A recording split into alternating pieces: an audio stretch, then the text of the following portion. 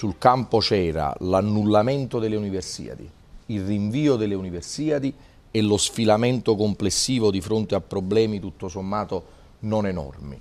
Ieri c'è stata una volontà fortissima della città di Napoli, e non solo della città di Napoli, ho molto apprezzato diversi interventi, tra cui quelli del governo, che quindi le università si possono e si debbono fare,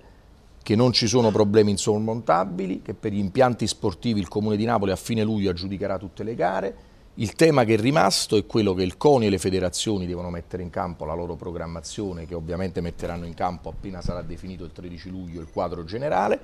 è rimasto in campo le, le opzioni su dove fare il villaggio,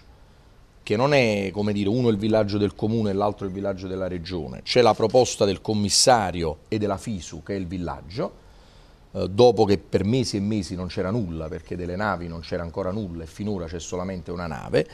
Ieri si è preso atto che il Presidente della Regione in qualche modo ha detto che per lui è improponibile solamente il villaggio, siccome per noi è prioritario fare le universiadi e non c'è una battaglia di religione, abbiamo sempre dato la disponibilità eh, a trovare un obiettivo che possa contemperare tutte le esigenze.